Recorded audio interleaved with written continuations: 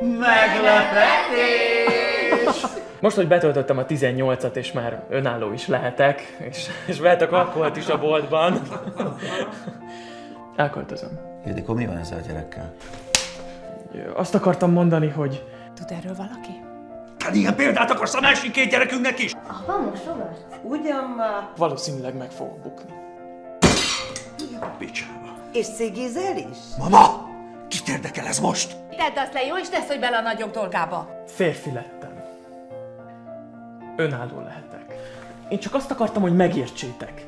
Gabi, tudnod kell, hogy szeretlek. Színészkedsz. Kiverem belőled!